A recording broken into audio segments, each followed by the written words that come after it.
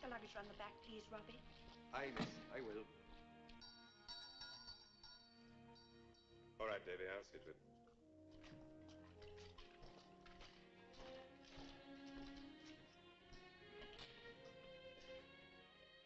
Good evening.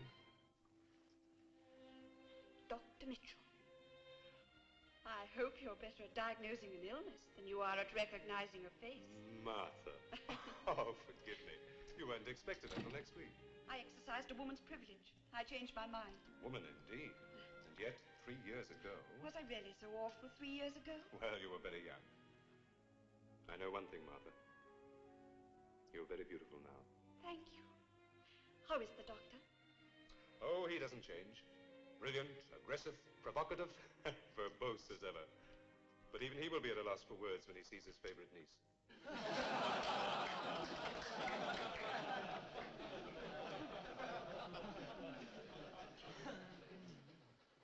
Miracles, gentlemen, are an apology for ignorance and a retreat for fools. You, men of medicine, are the modern miracle makers. To primitive man, the human body was a miracle. To us, it is a structure of some 260 bones and attendant glands, muscles, blood vessels, nerves, organs, and tissues. A complicated structure, I grant you. But to us, no longer a miracle. And so today, some of you become doctors in your own right, masters of anatomy. I congratulate you. You are entering the most honorable profession in the world. Sometimes too honorable. If half my colleagues pursued the study of disease as strenuously as the honor of knighthood, the country would be a damn sight healthier place to live in.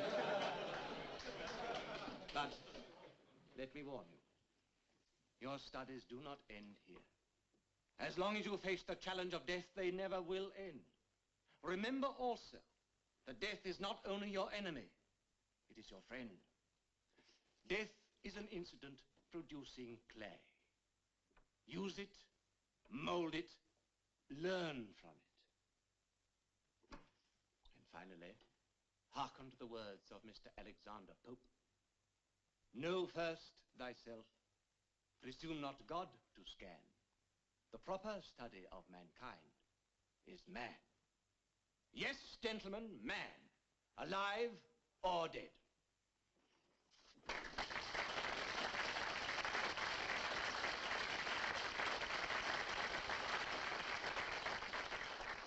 Excuse me, sir. Yes, Jackson? May I speak to you, sir? Certainly. Thank you, sir. Well, I was hoping to have graduated this term, sir. not more than I, Mr. Jackson. You'll tell me when I fail, won't you, sir? I try. I work harder than most. I try to please you. Please me indeed. You consider yourself harshly treated? No, sir. Unjustly? No, sir. I will diagnose the cause of your failure, Jackson. You are far too emotional. Emotion is a drug that dulls the intellect. You must learn to approach the science of medicine with a more clinical mind. Confine yourself to the abstract. When you are capable of doing that, then you will graduate with honors. Yes, sir. Jackson, Sir? are you short of money?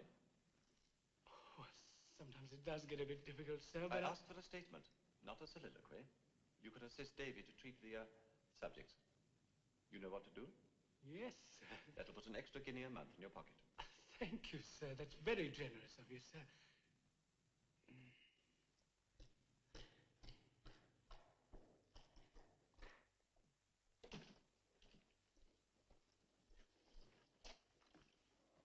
Ah, Mitchell. Well, another 30 witch doctors let loose upon the unsuspecting populace. Good heavens. My dear child. Mitchell, we must write and thank Madame Duclos for this, this miracle. I thought you didn't believe in them. Oh, I do now. From a gawky, long-legged schoolgirl to this. You look quite wonderful, my dear. A tribute to French cooking. I'm proud of you. Thank you. And I'm grateful to you for sending me to France. Mitchell, we must drink a toast to France. You're the man for a pretty speech. Oh, I could hardly compete with you, sir. Would you call my speeches pretty? Tell me, my dear, did you have a good journey? Wonderful. Comfortable? Excuse me, sir. There are two gentlemen here with the stiff. I beg your pardon. With the subject, sir. Thank you. Yes, sir. Attend to this, will you? And don't wait for me. You'll tell him all about the broken heart you left behind you in Paris.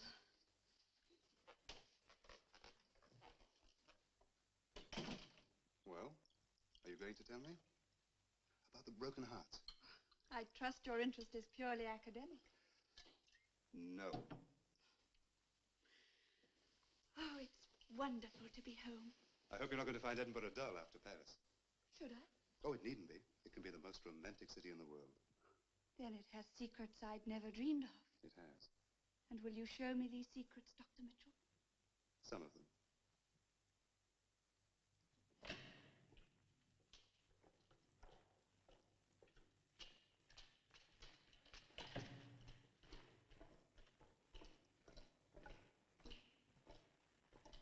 Nice and fresh, sir. Just a week in the grave.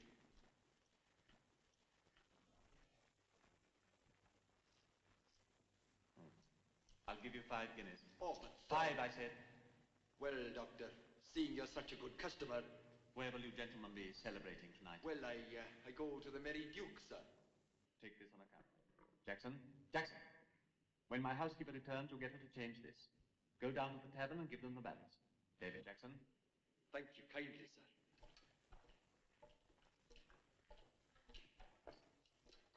Nice and fresh. You'd think the medical council could do something about it, sir. In what way? So that academies could be supplied legally with bodies. They could petition Parliament. Oh, yes, Parliament. With 500 walking corpses there, you would think they could spare one. The member for Edinburgh would do nicely. Easy now, Jackson. We don't want it to fall apart in the brine. No, sir.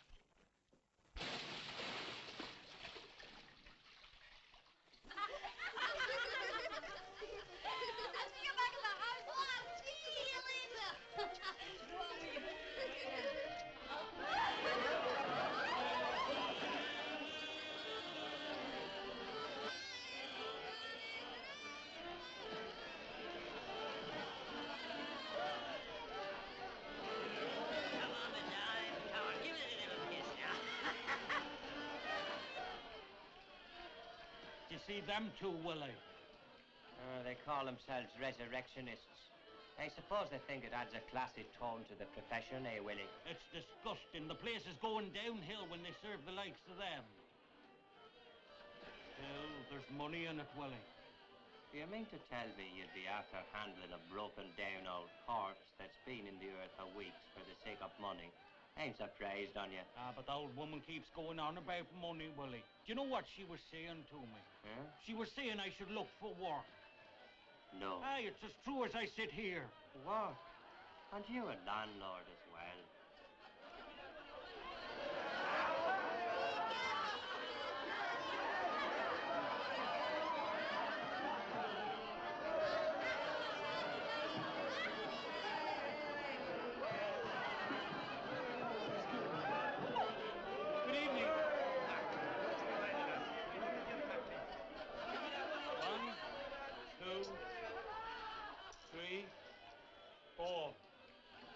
Thank you kindly.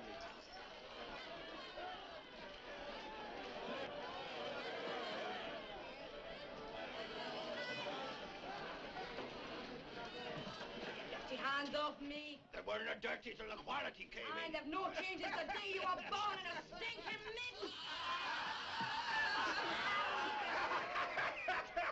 Don't listen near me, mister.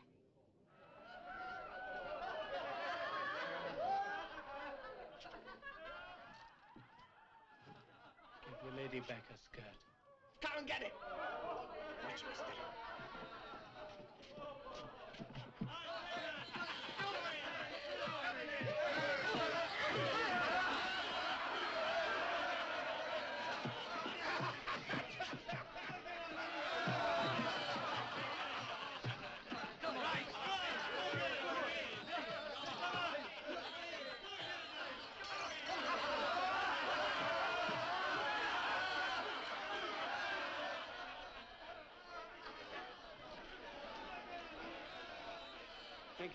Much obliged.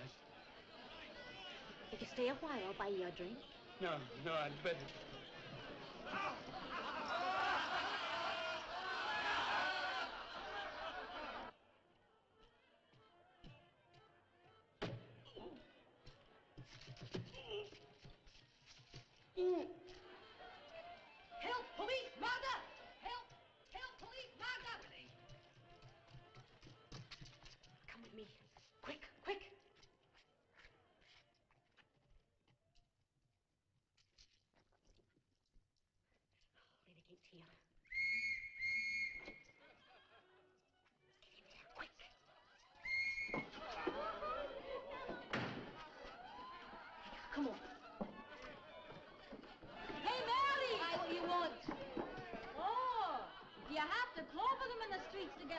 A fellow. Aye, well, at least I can still get him sober, dearie. Come on. Hey, come on. Here, give me that. Come on.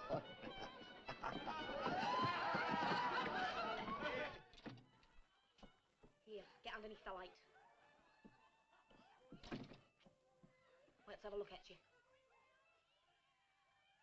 Ah, It's not so bad. I'll soon fix that. Sit yourself down. Thanks for your trouble. Oh, it's the least I could do. You help me. Bring that chair over, will you? Look, there's no need to make all this fuss. No fuss.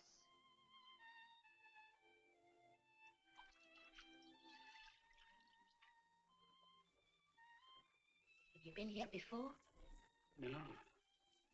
No, I haven't. You're one of the medical students, aren't you? How did you know? Oh. Oh, we get a lot of your type in here. Them and art students. They come to study the human form. That's anatomy, isn't it? Yes, but not quite as it's studied at the academy.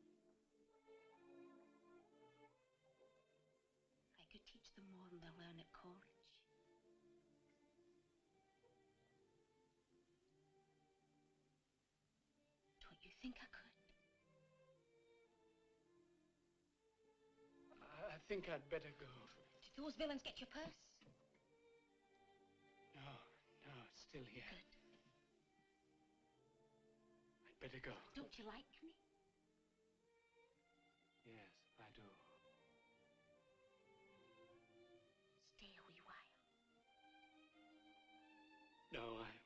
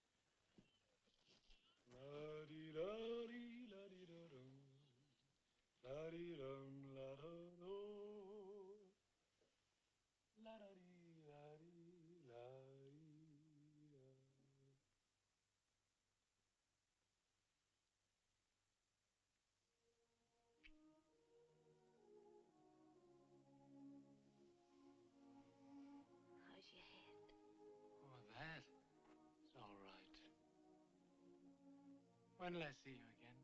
Oh, I'm here. All the time. I mean, really see you. Take you out or something. Take me out. That's a good one. and what did your friends say if they saw you out with the likes of me? Don't laugh,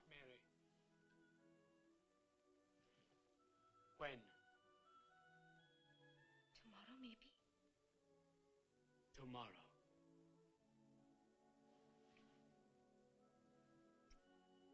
You'd better go. You're going to be late for your class. Good Lord, yes. Oh, Knoxville. All right?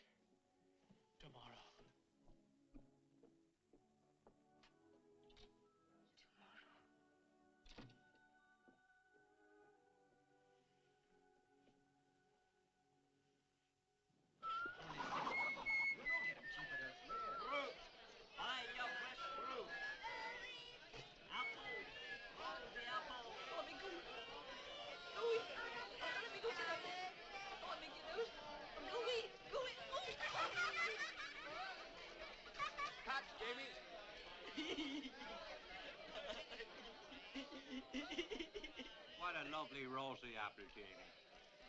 Say, Mr. Core, Mr. Hare. Did you hear that, Willie?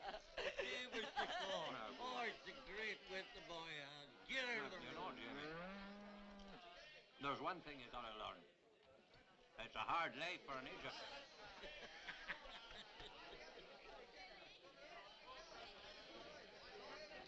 Burke, Mr. Burke, What is it, Jenny? he's coming to eat you home. Something terrible's happening. Well, what is it? You see when you get home.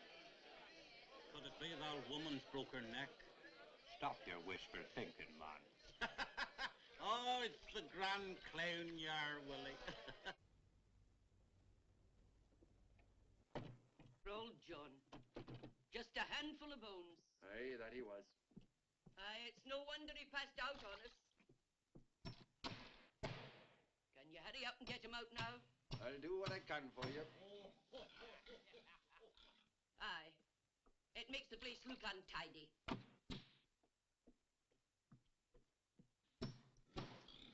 Guess the news, Willie. Surprise me. Old John's been and died on us.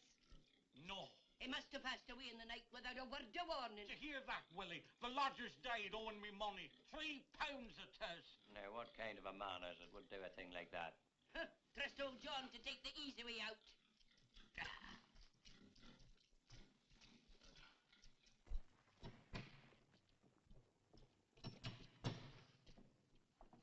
Here's business. Very slack. I'm away for some help, Mrs. Burke. He'll be gone sooner than a dog can wag his tail. That'll be tomorrow. I don't know what the rest of my lodgers are going to say. Well, he's one less to worry about, the dirty old swindler. Oh, stop your moaning and go and put the bed to let sign out. What's for dinner? Kippers, I can make do with the ones we had yesterday. They're still repeating on me. if you'd earned a copper or two, you could have finnan haddock. Oh, there's one there in the cupboard, but I think it's gone off. So's poor Johnny. You know, Burke, I was thinking. It's a shame for Johnny to be going to a pauper's grave. And him with an unpaid debt on his day in conscience. Aye.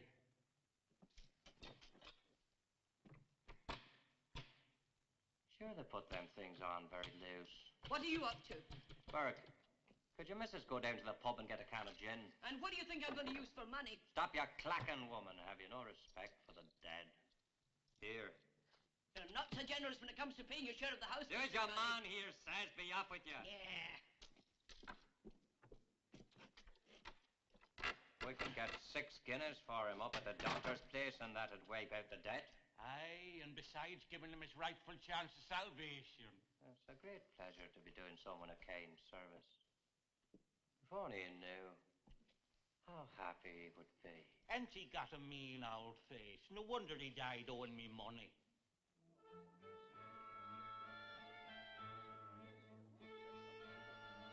Good evening. Good evening, Doctor. Out of this nettle rash danger, pluck this flower. Thank you, sir. Thank you for the flowers. I'm glad you like them. Why is he giving this party, Geoffrey? To launch you on Edinburgh society. The real reason. To collect his friends and enemies alike into one room and then insult them all indiscriminately. I tell you, gentlemen, medicine is being driven underground. The law yields to us the body of a criminal when he is caught and hanged. When? We have to wait a very long time for justice to unravel itself. Meanwhile, the resurrectionist plies a very useful trade. Oh, really, Knox? You deny it? Well, I agree you doctors need bodies for dissection. But to condone the violation of graves by these ghouls... I neither condone nor condemn. I accept. Is the feeding of worms more sacred than the pursuit of truth? I think the Reverend feels that to violate the grave is to violate the soul. I do. Oh, really? I am told that when the body is clay, the soul has already flown, one way or the other. Fortunately for the poor victims of these grave snatchers, that is true. The soul has left the body. Of course. I was wondering why I'd never come across one in my work. Now, Robert, do you deny that the soul exists? I deny nothing. I can show you the heart, my dear Reverend. Can you show me the soul? It is there. Where? Beneath the armpit, between the eyes, deep in the abdomen. The fact that you cannot see it does not prove its non-existence. After all, you can't see a thought. No, but you try having one without a brain. Gentlemen, gentlemen. The trouble with Knox is he's a teacher. Oh, I'm old-fashioned. You can have too much of anatomy. For me, a surgeon needs two things. A patient disposition and a pair of strong hands. Admirable qualifications for a laborer building the Caledonian Canal. I suggest you're wasting your talents, Dr. Ferguson. I consider that an insult, sir. I complimented your strength. I No, had no, think no, of something. gentlemen, gentlemen. Elliot, is it true what I hear? They say no matter what the complaint, you have but one prescription. senna pods. That's a libel. I know. A lawyer told me the story. But you must sue him sometime. Excuse me. That man is doing the devil's work. Aye. He does it brilliantly.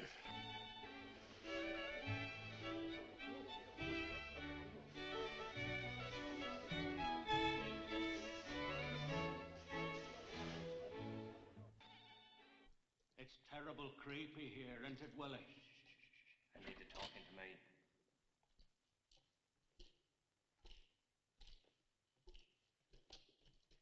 Sure, he's the perfect specimen, Your Honor. Burke, stand aside so the gentleman can see our gentleman. Died only a few hours ago, Your Honor. We heard you like them fresh, sir. This one's as fresh as a new cut cabbage.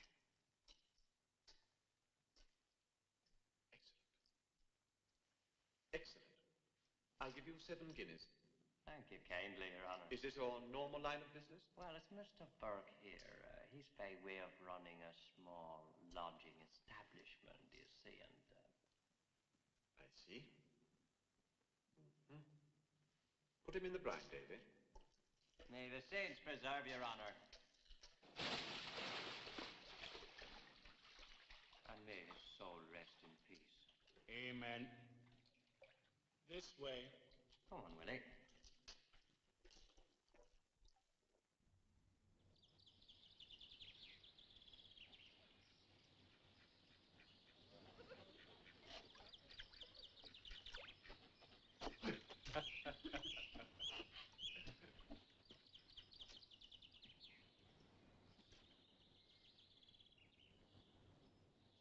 Uh,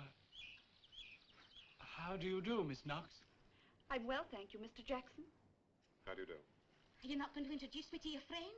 Yes, this is Mary Patterson. Mary, this is Miss Knox, and How'd you do? How'd you do? this is Dr. Mitchell, one of our doctors. Oh, you're one of them, are you? How do you do? I'm very pleased to meet you. It's a lovely day. Oh, yes, yes, it is.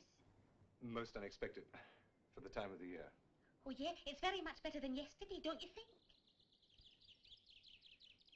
Is that your boat? It's a punt, Mary. It looks nice. I wish we had one, Chris. Well, why don't you borrow it for the afternoon? You'll be very welcome. Oh, What with Chris paddling? No fear. I don't fancy walking home with wet drawers. I think we'd better go, Mary. Goodbye, Miss Knox. Goodbye, Mr. Jackson. Dr. Mitchell. Come on, Mary.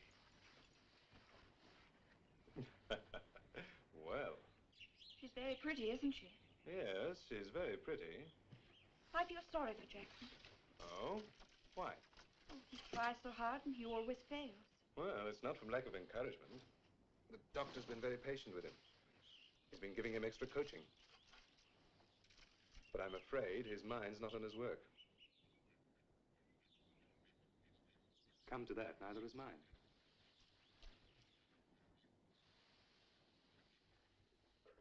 What's the matter, Mary? Were you ashamed to introduce me to your friends? Oh, they're not exactly friends, and I wasn't ashamed. Ah, I will. You looked it.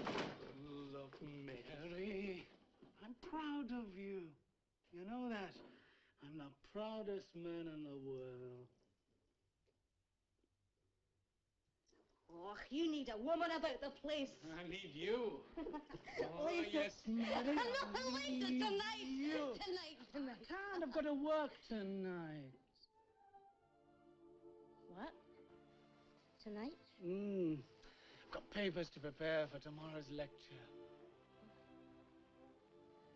I thought perhaps we could go out for a wee drink somewhere. And then come back here. No,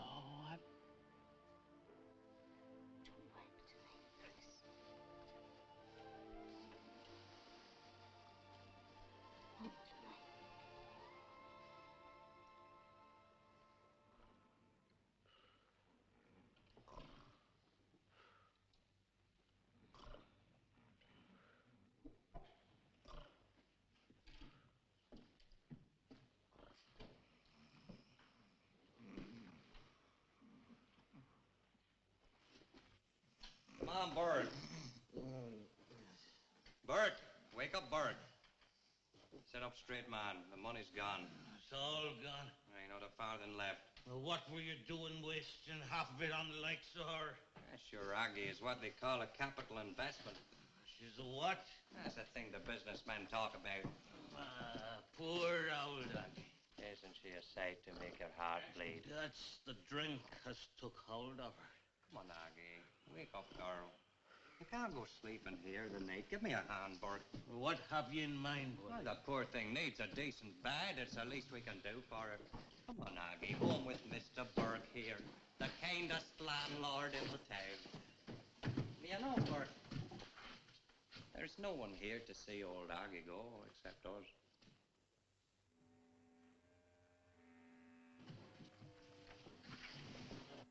Twelve o'clock, all's well.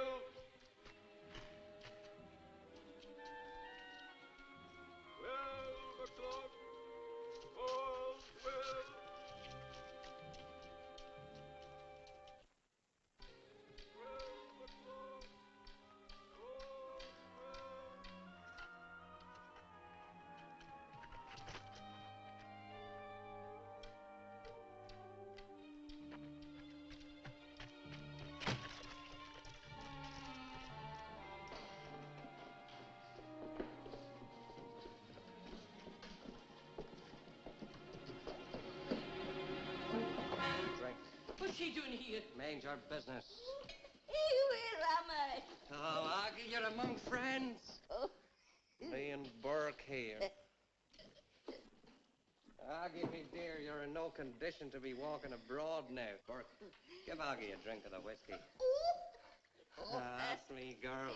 Oh. I can see the bloom coming back to your cheeks, all right. Helen, go outside and keep watch. What for? Do as Willie says, woman.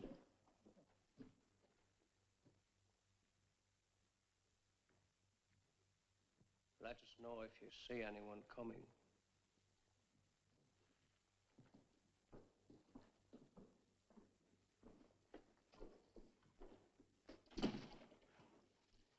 Willie. It won't take a second. Now, Burke, you wouldn't want to be turning old Aggie out. Her feeling so weary. What do you have to say? What? No, Aggie, you're not thinking our intentions are dishonorable. You're old enough to be my own mother. Rest her soul. Uh, you're a couple of kind-hearted boys. There's no many as kind to the old folk these days. no. Oh, I'm awful sleepy. That's right, Aggie. You have a rest. Have a good rest. Do you hear that, Burke? She wants a rest.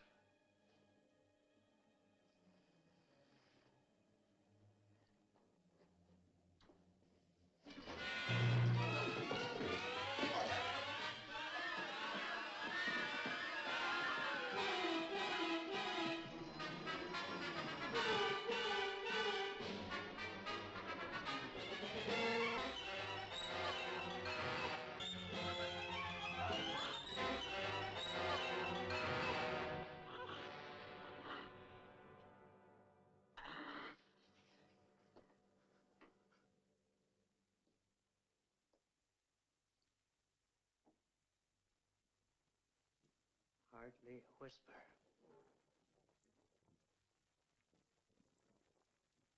Sure, the old girl's better off. She'd know where to go. That must be a terrible thing when you're old. She bit my hand, Willie. She bit it. Well, you can't blame her for that. Here. Put her in here. Hold her up nicely, Burke. Can't blame her for that.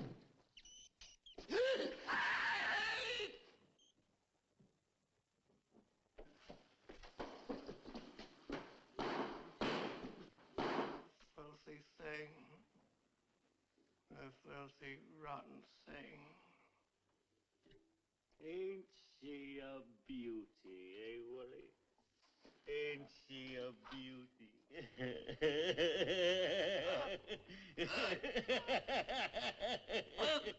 Six, seven, eight. You say you found her dead drunk in the street.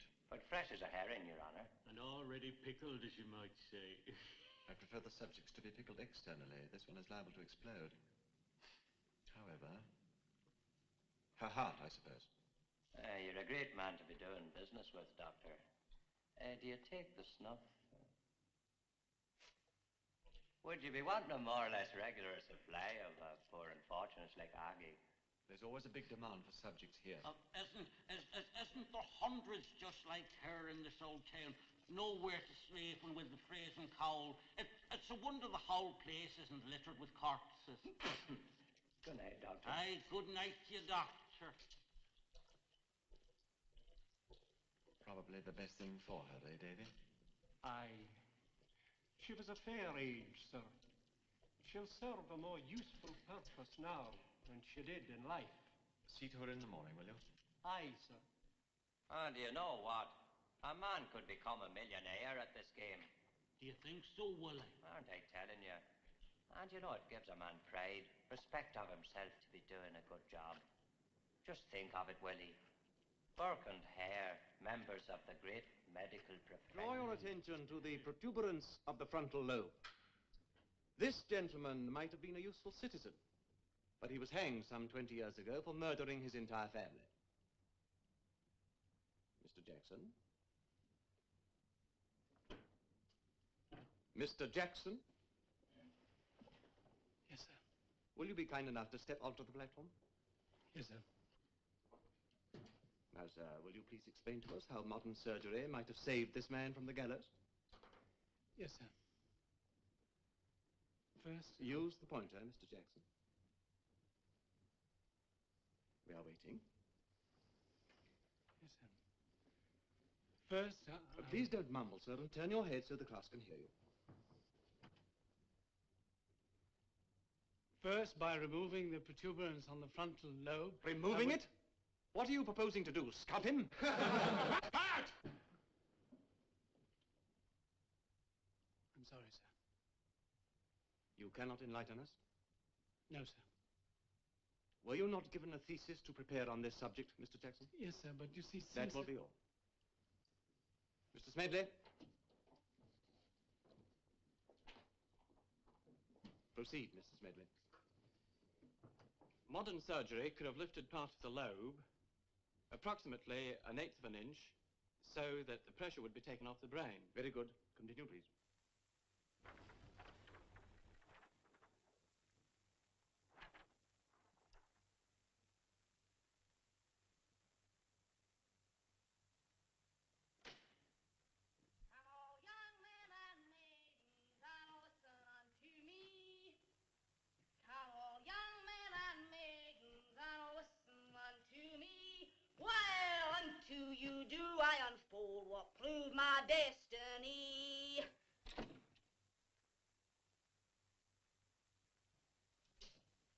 What you looking at me like that for? I was just looking.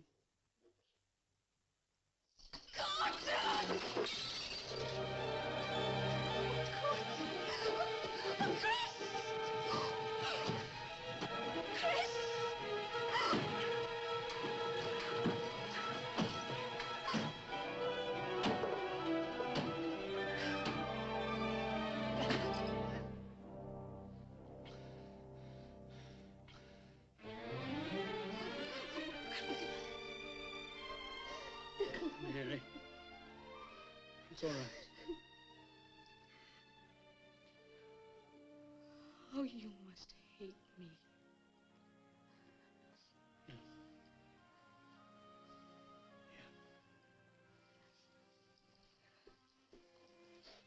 Where did you go? Oh, I went across the road for a wee drink. You know how it is.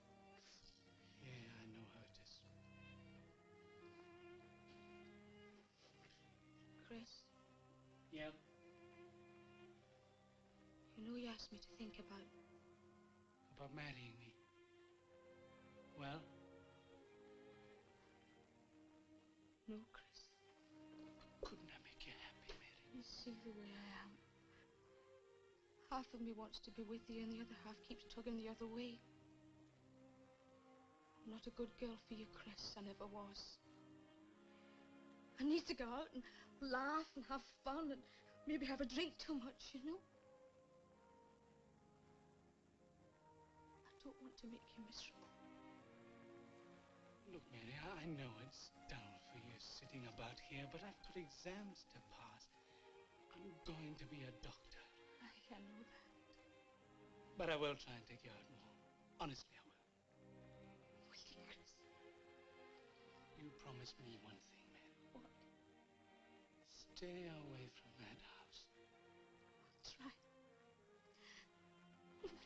will. I'll try, Chris. Promise me.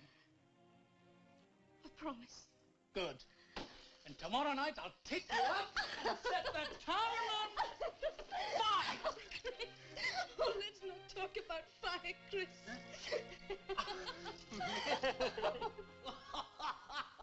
oh, it's the real aristocrat here, Willie. That's the finest whiskey I ever seen in my life. That suits the colour of your eyes.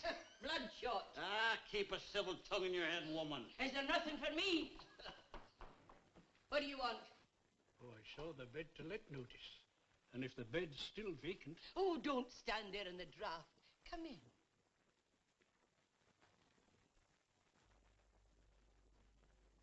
Don't worry. You're with friends. It's more than welcome you are, and that's for truth, Eivor. Aye, that's the truth. As welcome as a golden guinea. hey, would you would you like a bite of something to sup? Helen, my darling, don't just stand there. Go and get the gentleman a plate of something. Oh, you're very kind. I'm a poor man, but I, I won't be any bother. Oh, sure, you'll be no bother at all. Have you been long in Edinburgh? Oh, no, I just arrived the day. I'm down from Inveran. That's a war up in the Highlands, you kin. Is it now? Did you hear that, Burke? A gentleman's come all the way down from the Highlands. Aye. Uh, will you be wanting the bed for long? Ah, well, that's hard to see. I'm looking for work, you see. I see. Um, tell me, uh, do you take the snuff? Okay, thank you. Tell me, uh, Mr. Um, McLaren. Angus McLaren. uh, we'll just call you Angus. Tell me, Angus, um, have you, uh, have you got any friends in this town? Ah, no, I'm just a crofter. And there are hard times by.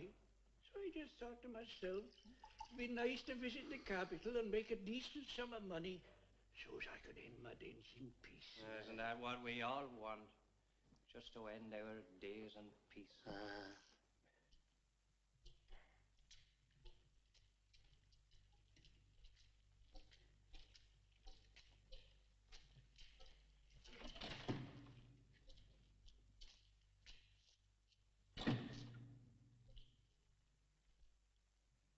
Done business with us before, I gather. Oh, aye, sir, that we have. With Dr. Knox. The doctor is occupied at the moment. I'll attend to you myself. I'm Dr. Mitchell. Well, open the box. Aye, sir.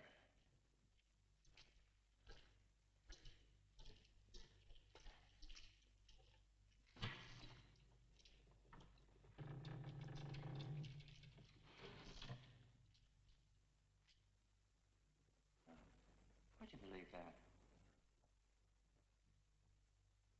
This man died only a few hours ago. Oh, aye, that's right, Doctor. You see, we got him quick before the parish undertaker could get his thieving hands on him. Where'd you get him? Well, uh, you see, the poor old soul uh, was lodging at my colleague's house. Uh, that's Mr. Burke here. And he seemed to take ill. Just old age, passing away in the night. How did he get that bruise? Bruise? Has he got a bruise? Well, look for yourself, man.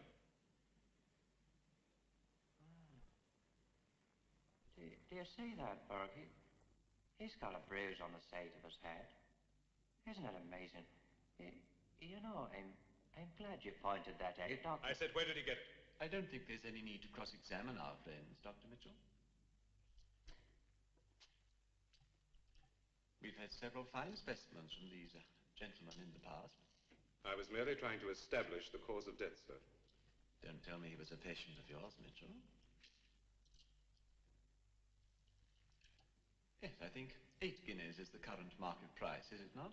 Eight guineas it is, sir. And as ever, sir, it's a pleasure to be doing business with a fine gentleman like yourself. Aye, that it is, Doctor. Show our friends out and then lock up, will you, David? Good night, dear Doctor. Good night.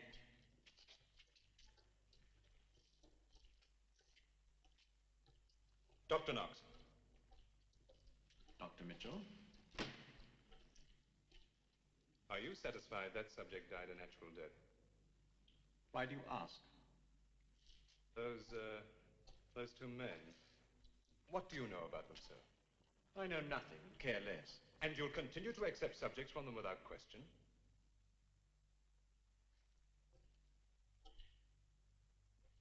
I will continue to teach anatomy, using the best specimens available to turn out doctors who will replace quacks. Is there anything else? No, sir. Then good night, Mitchell.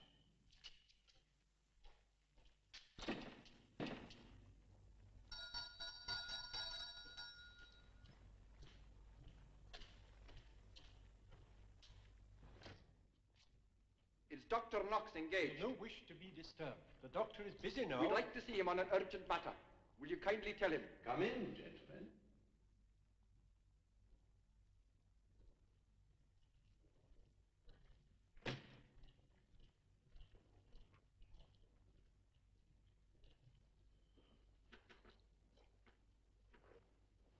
This is a great honor. Four of Edinburgh's leading surgeons. Dear me. I hope you still consider it an honor when you've heard the purpose of our visit. Nothing could change my opinion of you, gentlemen. Proceed. An article by Dr. Knox. Page 30, but pray don't trouble to find the place, Dr. Elliot. I have an excellent memory. A few months ago, a man came to the Edinburgh Infirmary with an aneurysm connected with one of the larger arteries of the neck. Notwithstanding its obvious characteristics, even to the merest beginner, that it was an aneurysm, a certain distinguished surgeon pronounced it to be an abscess. Accordingly, this celebrity, who was once an amateur member of the ring, and who prides himself, among other things, upon the strength of his hands and arms, without pretension to head, plunged his knife into what he believed to be an abscess, and the patient died in a few seconds. Oh, the damned effrontery! How dare you? Dare? Is that a challenge? Why didn't you name the surgeon? Are you frightened of a lawsuit? Since we all know your name and your reputation. You heard that, You gentlemen. surprise me, Dr. Ferguson. I would prefer to remain anonymous. I intend to sue you to the last penny in your possession. A most laudable enterprise. No doubt your preoccupation over a rich harvest will inspire a more adequate excuse for your next failure. Why, you... Why didn't you let him strike me? Or were you thinking he would have provided a more potent weapon in the law courts than a mere wrangle over an undisputed fact?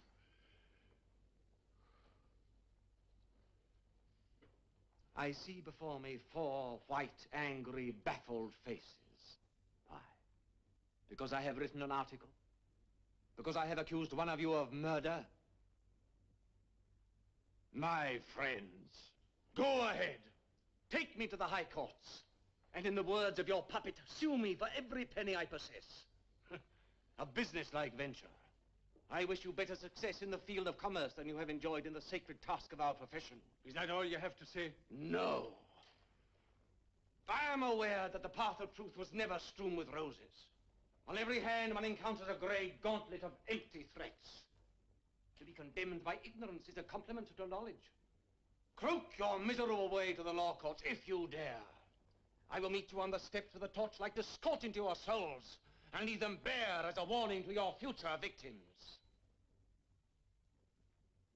And now, if you will be so good as to incline your heads slightly to the right, you will observe the door. Please use it.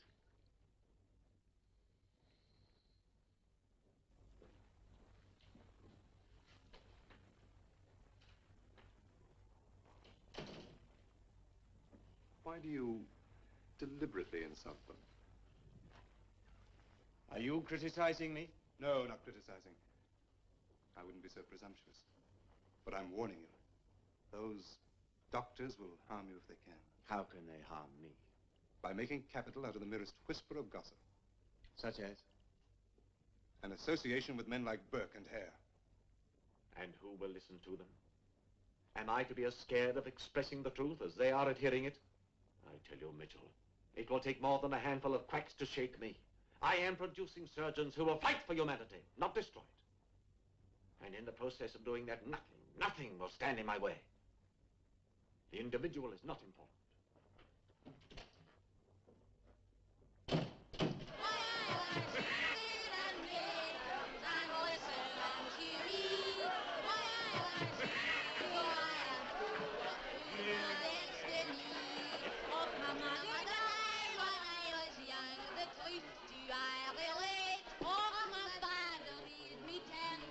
Hey, what's the time? What's it matter? Oh, I said I'd be home to meet Chris. Chris. Thank goodness. Ah, oh, hello, Jamie. Hello, Maggie. I got a new wee rhyme for you. What? You stop your fidgeting me now. Ah, come on, what's your line? What's your line, Jamie? It goes like this. There are creepers and crawlers and six-legged bogies and things that go bump in the neck. oh, that's very good, Jamie. Isn't that good? Aye, it's good. I'll give you a penny, huh? If you can remember the rest of it. Oh, come on. Let's go over to the house, Mary. Come on, there'll be free drinks over there. Oh, good night, good night. Another night. Night,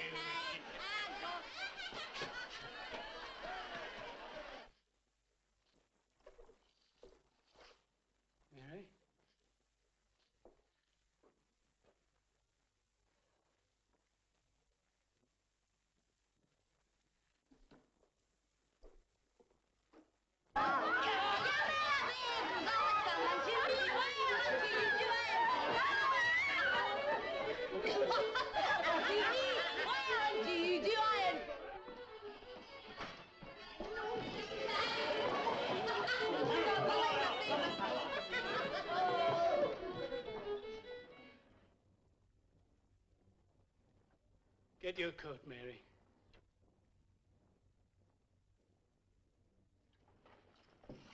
Get out of here. If you want a scene, I'll give it to you. You're drunk, Mary. Let me take you home. Well, let me take you home. Did you hear that? Let me take you home, he said. Thought if you were half a man, you'd drag me out of here by the roots of my hair. But you just tried and I'll kill you. Go home yourself, Chris Jackson, and scratch your wire with your pen like a good boy so the doctor will be pleased with you in the morning. And don't keep a light burning for me, because I'll no be back. I'm not going to be bored anymore by your mealy mouth talk. Come on. Come on. Come on.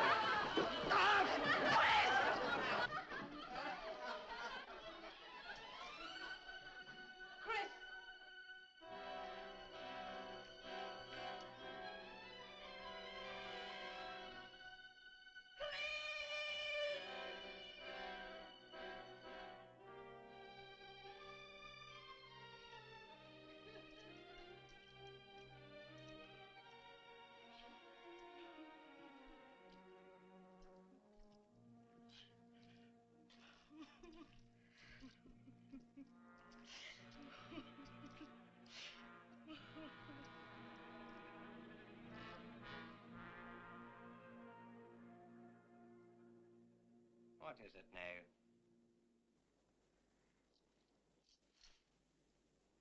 Nothing. Give me a drink. Of course, me darling.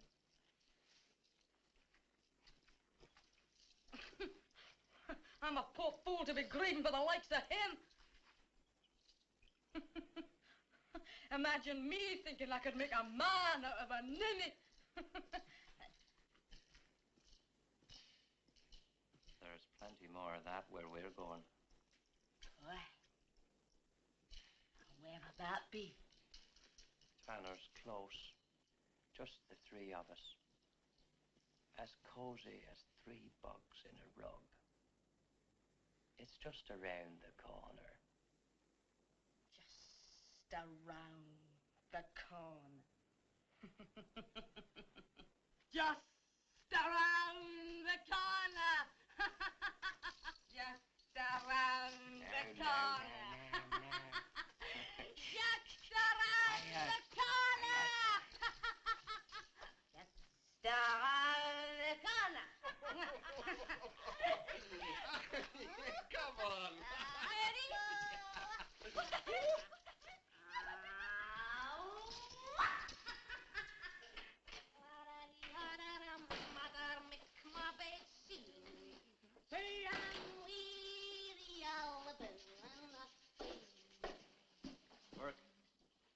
where's your wife? She's gone to see her twin sister. You'll wait here. Why, Willie? What for? Because I'm telling you. Oh, don't make the place untidy, Willie.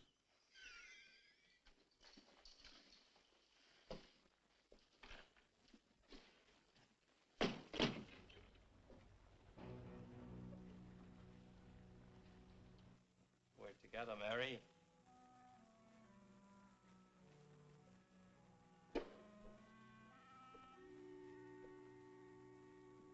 Just the two of us.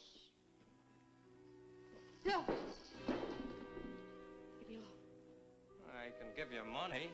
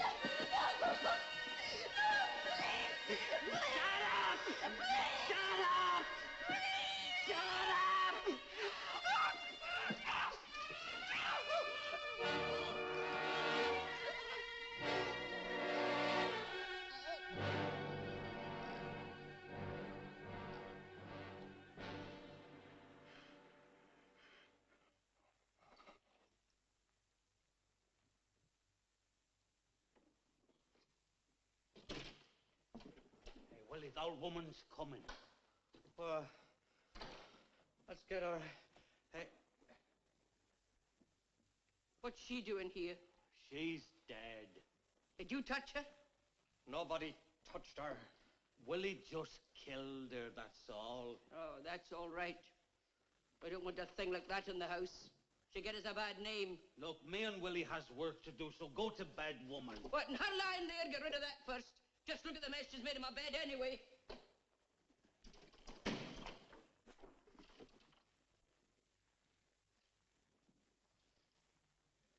She looks lovely, Willie.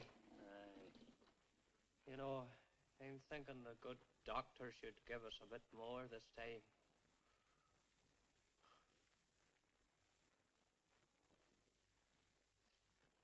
Your enemy. It is your friend. Death is an incident producing clay. Oh, you're at work early, Mr. Jackson. Yes, Davy. Ah, this one's the best we've had so far. Doctor wants some drawings taken before we put her in the brine.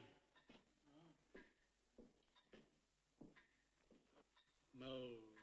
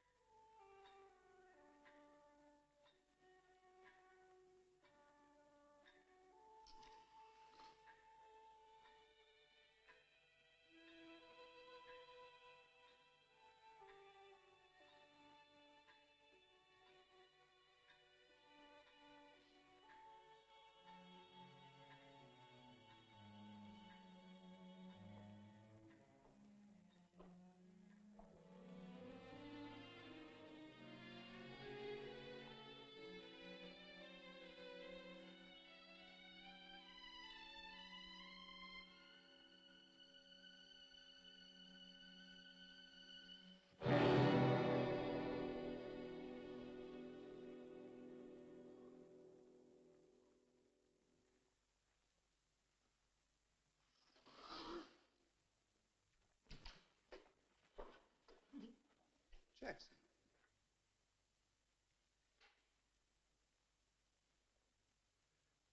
Well, what is it, man? Hey, what's the matter with you? Jackson!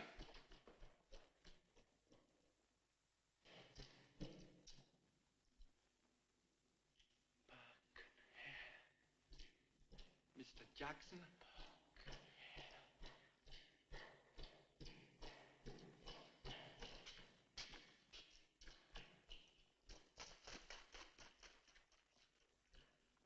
With Jackson? Aye, he was acting very strange. I can tell you why. Well? Burke and Hare have just brought in the body of a woman named Mary Patterson. She was Jackson's girl.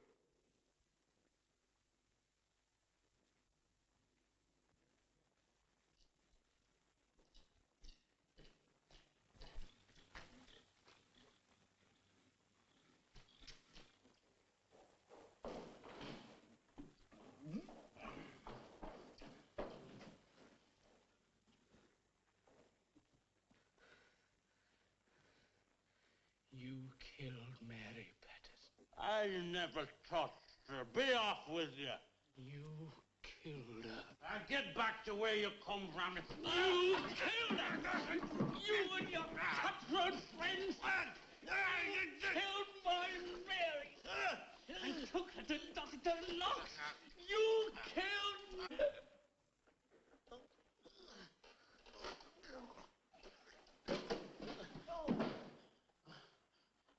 Well, Burke, that's one subject we won't be selling to Dr. Knox.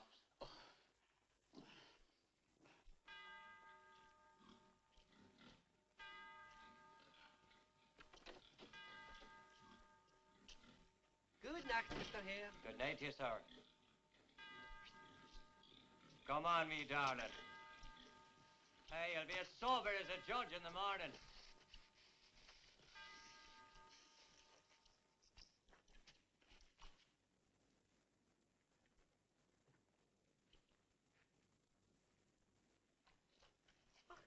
The matter with you, Frank? It's fine. We'll see you later, Jamie. Oh, I may as well come along with you. Can I give you a hand? He doesn't look very It's well. all right. He's had too much to drink, that's all. I wish I could say the same for myself. Well, here.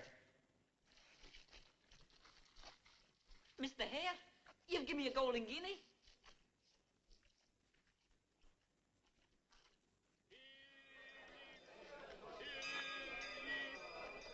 Murder! Murder in West Port! Murder most foul! If any in the name of the king have any information which will lead to dedication.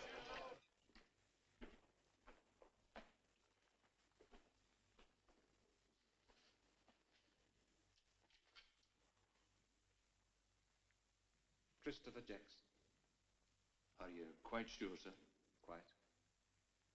You say he was stabbed? Yes, sir. He was found in an alleyway early this morning.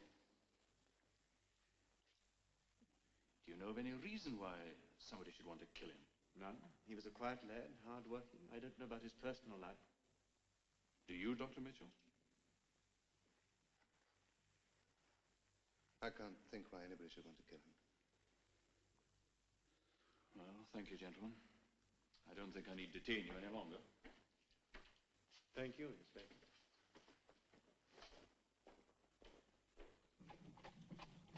Why didn't you convey your suspicions to the police? Did you want me to? And why not? You know what I fear, sir. An opportunity for your enemies to destroy you. Your consideration for me is very touching, Mitchell. However, if you seriously think that Burke and Hare were responsible for Jackson's murder, your duty as a citizen is obvious. Or if you really consider that the life of a street woman is more important than the advance of surgery, then stand in the market square and scream murder to the mob. I was thinking only of Jackson, sir.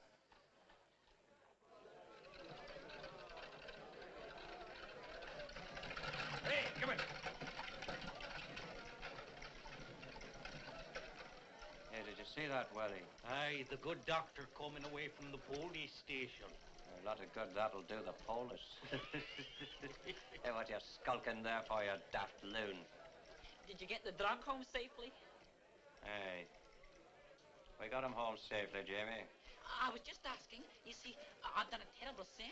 Did Wicked. you know? I, I found a man in the alleyway. He was dead. And what was the wicked thing you did then, Jamie? I, I stole a ring off his finger. And then, you know, I I went to confession.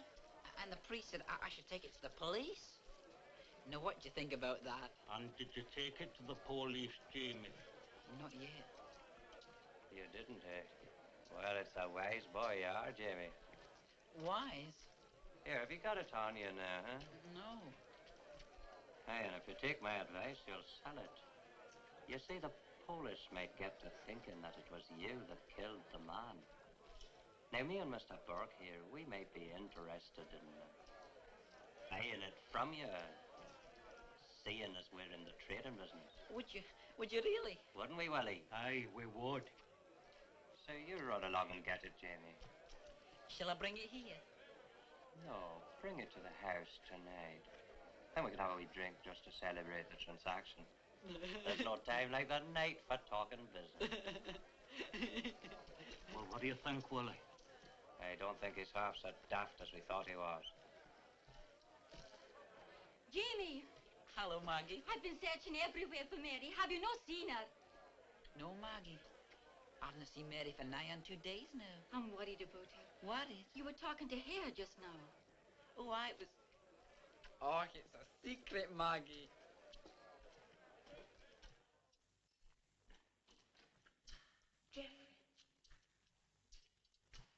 I have a confession to make. Oh?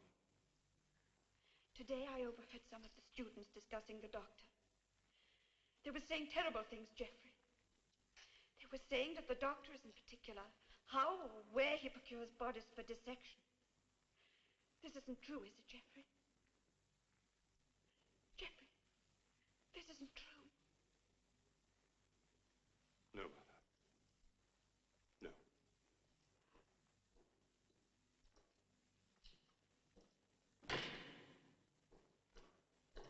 Good evening, Mitchell. Can we discuss tomorrow's lecture? And I trust you received my notes. Yes, sir. Our subject is the heart.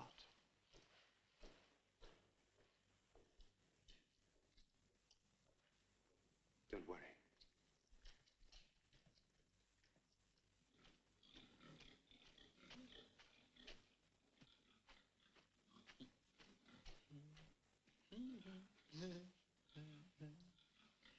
Hello, Mr. Burke. Hello, Hare. Hello, hello. Hello, Mr. Burke? Are you there?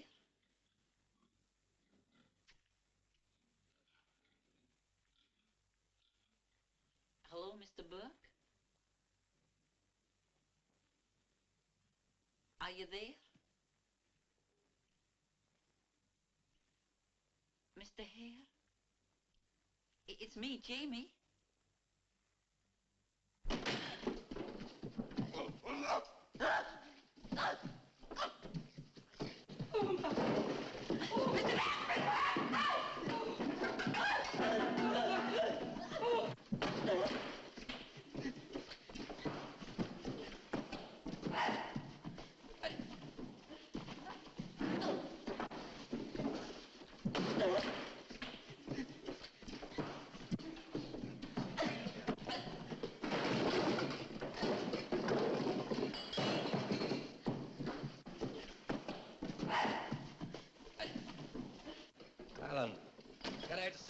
for anyone common.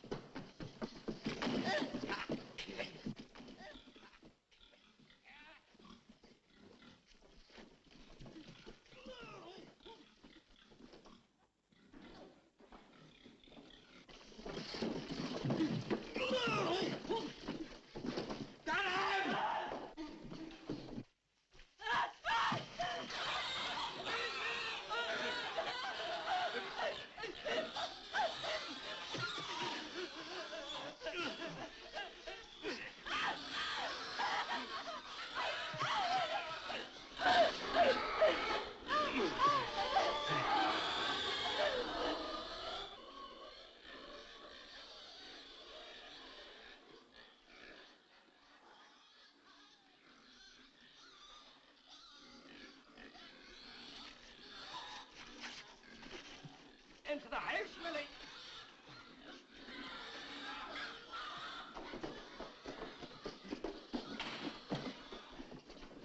Get him out of here as quick as you can. What's the matter, Helen? There's no more screaming. Only the pigs. Get the box ready, Burke. Oh. And don't let's be forgetting the ring. That's what he come here for.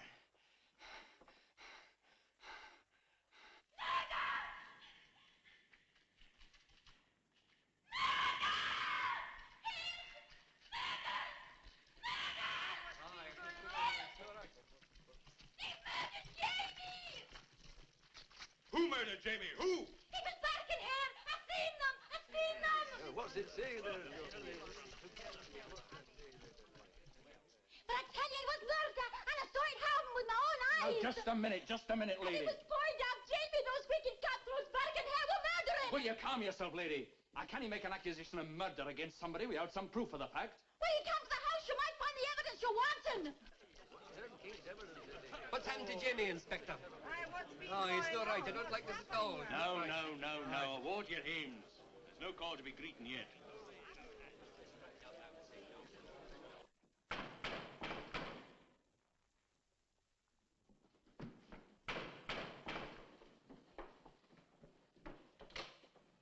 All right, Mr. Burke, where are they? Oh, well, what do you mean? What do you think I mean? You can't come busting into decent people's homes like that. Where's Daft Jamie? Uh, I don't know. I never saw him. I swear it, I never saw him, I tell you.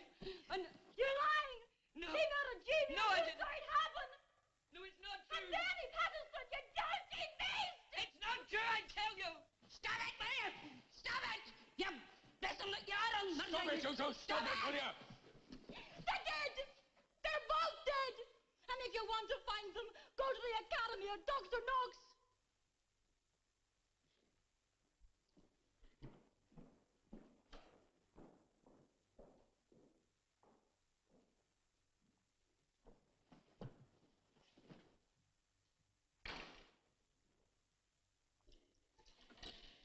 Dr. Knox, in a few minutes, Burke and Hare will bring you another subject. I beg of you not to receive it. And why not? Because the police know it was murdered.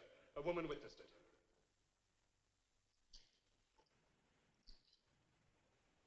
Is this what you mean? Yes, Was this young man well known? everybody knew Daft Jamie. And the woman screamed murder. Yet our friends Burke and Hare were not unduly perturbed when they brought him here. Because they know you have more to lose than they. They're relying on you to cover their traces. Are you accusing me of collusion with them? Dr. Knox, I don't know what to believe any longer. But I beg of you, for your own sake, dispose of the body before... You were saying? It's too late. Open the door, Davy. My conscience is answerable only to me, Dr. Mitchell. Nothing is too late. I'm sorry to disturb you, Doctor, but uh, I've received some information from this woman. I have already been informed, Inspector.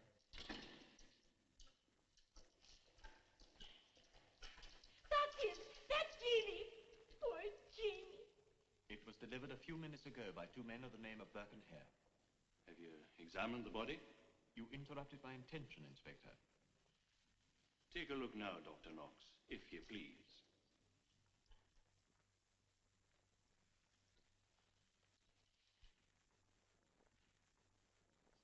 Could you state the cause of death?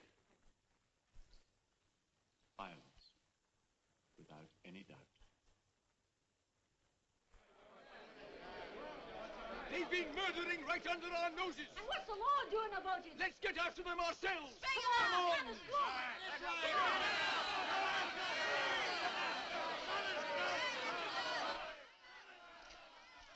Willie, they're after you. They're coming towards the house. They're coming after the pair of you. Listen. What'll we do, Willie?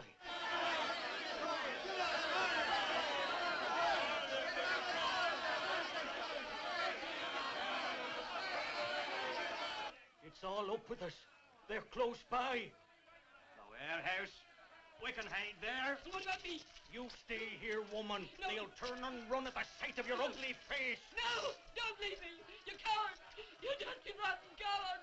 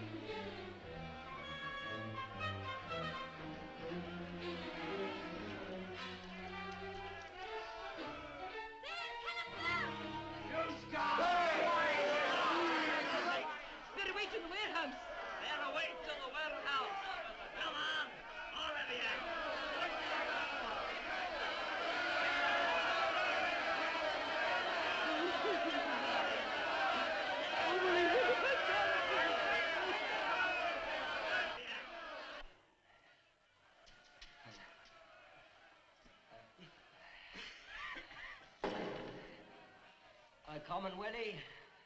Uh, just shows you could never trust a woman.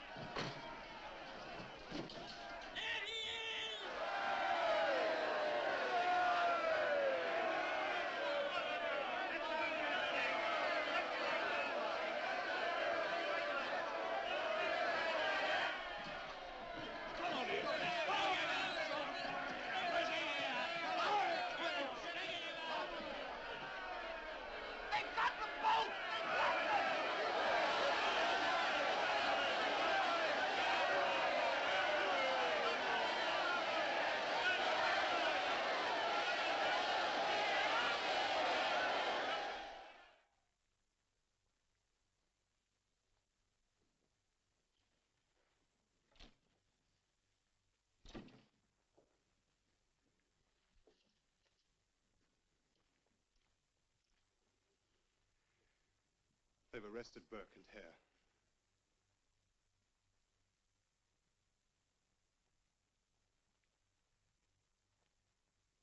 In the case of the Crown versus William Burke, call the first witness for the prosecution. Call William Hare. William Hare. Silence in court. Place your hand on the Bible. Do you solemnly swear to tell the truth, the whole truth, and nothing but the truth? Oh, that I do, Your Honor.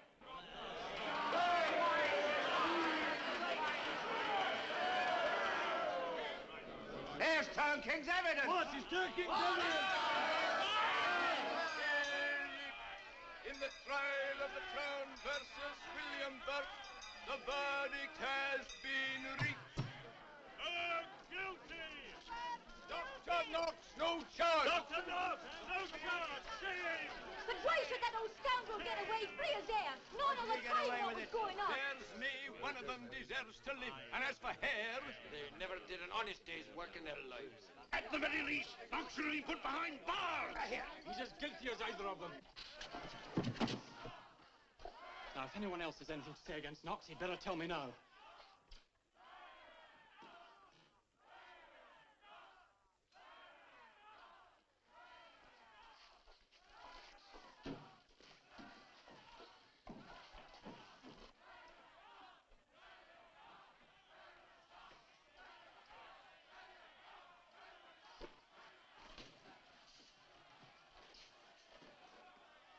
Be seated, please.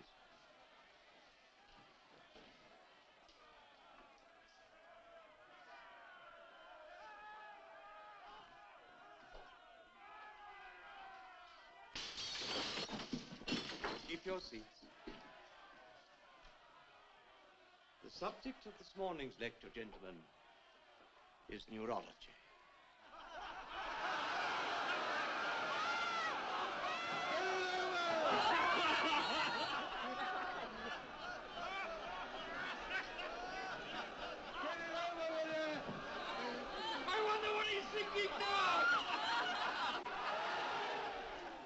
Curse on Dr. Knox, I'm thinking, Father.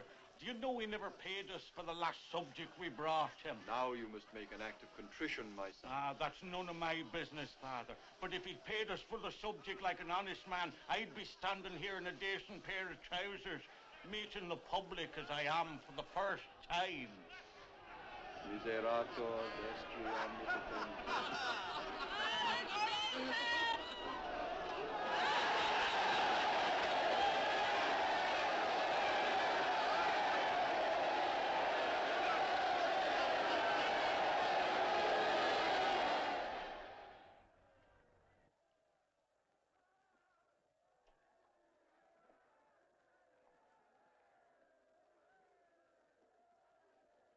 no charges against you, Mr. Hare. You're free to go. The mob. They'll be waiting for me. You can go out the back way. Will you send someone with me? Aye. As far as the door.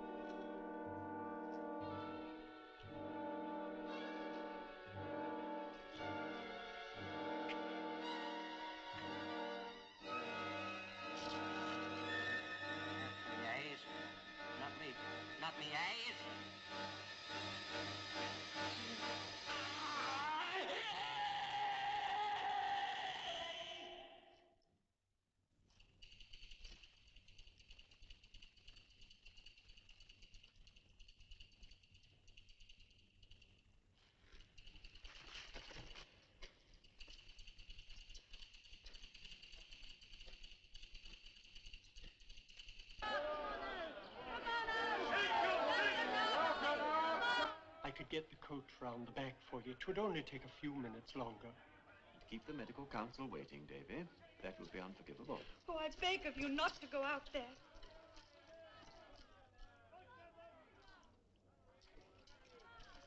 It's Jeffrey. Take care of her, Mitchell.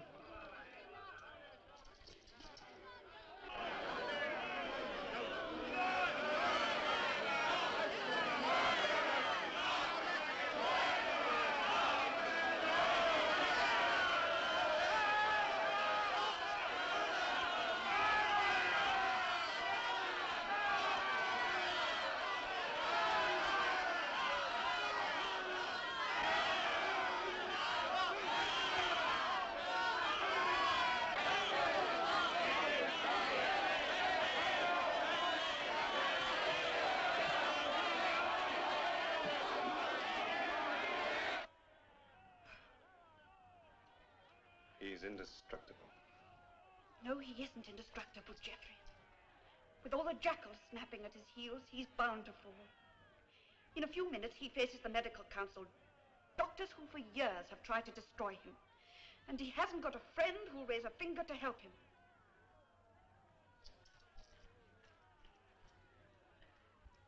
This is not a court of law, Dr. Knox.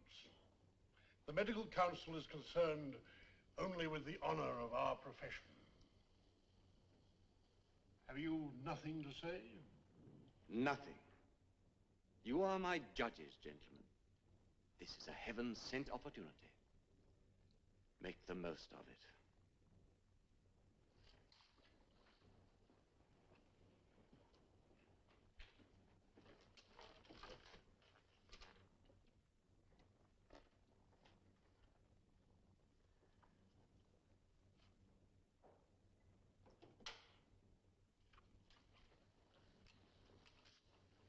Mr. Chairman, gentlemen, I don't think we require your presence, Dr. Mitchell. I feel there is something you ought to hear, sir.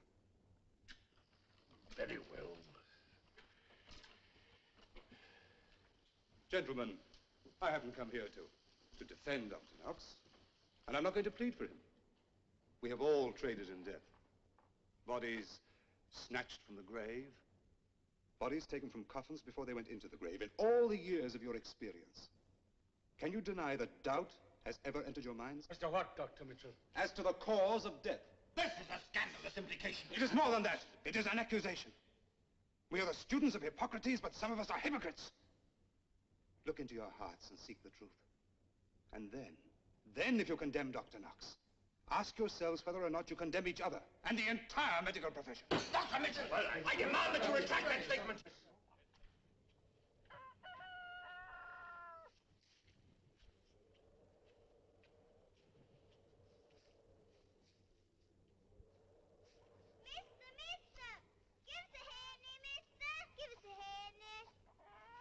And what will you buy with it? Oh, just a few sweeties, that's all. I'm sorry. I haven't any money with me. If you want to come to my house, I'll give you some there. No, thank you. You might send me to Dr. Knox.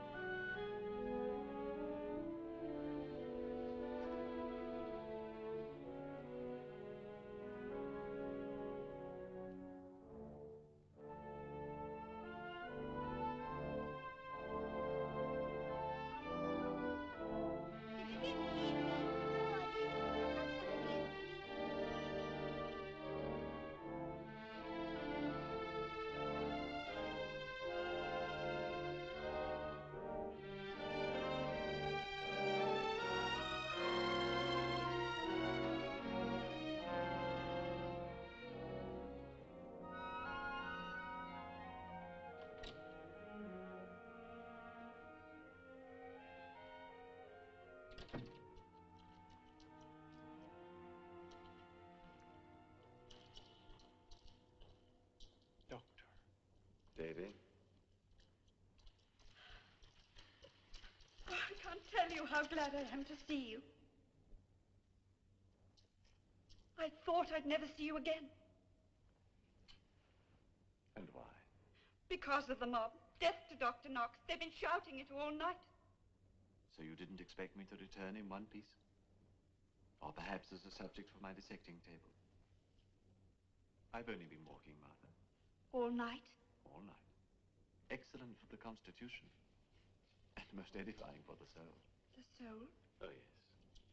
I admit its existence. We are not demigods, Martha. As a child, I believed in God and the devil. It took a child to show me what I am now. I failed, Martha. Oh, no.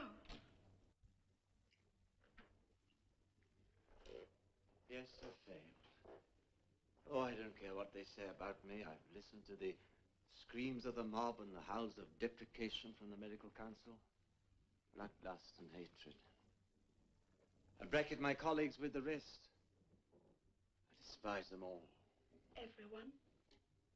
Until this morning, yes. But I've just heard the voice of conscience. From a small child, I heard the truth. And what did the voice of conscience say? Said, You are an ogre, Dr. Knox. You have killed humanity. For the sake of humanity. for the sake of achievement, ambition. Those bits of clay, poor lumps of humanity that Burke and Hare brought in. I have to confess to you, Martha, they seemed so small in my scheme of things. But I knew how they died.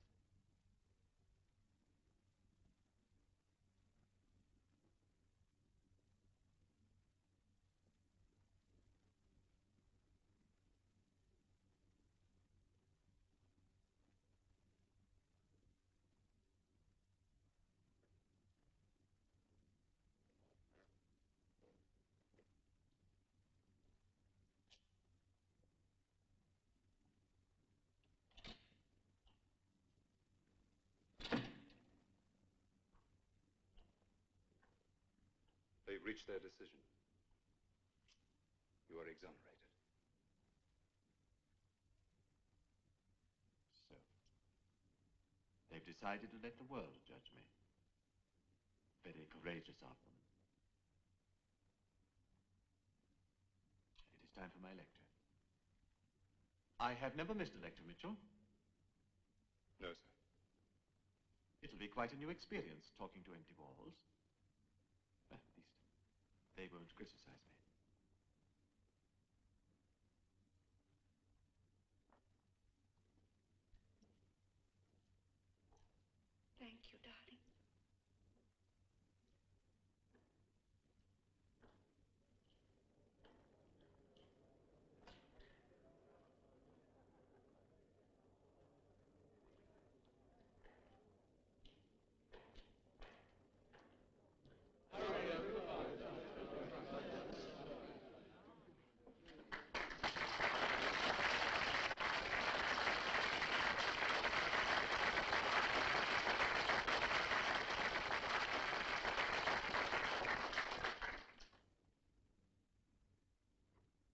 Be seated, gentlemen.